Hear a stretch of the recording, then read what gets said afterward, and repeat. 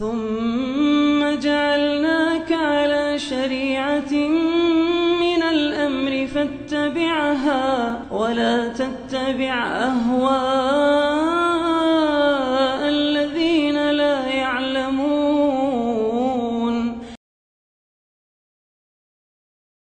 Yang kedua terkait dengan masalah apakah boleh seorang itu uh, ketika sujud kedua langsung berdiri tanpa duduk istirahat?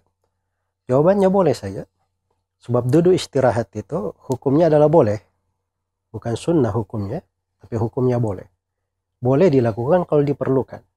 Karena itu riwayat duduk istirahat itu itu terkait dengan Nabi Shallallahu Alaihi Wasallam ketika uh, di akhir hayat beliau Shallallahu Alaihi Wasallam.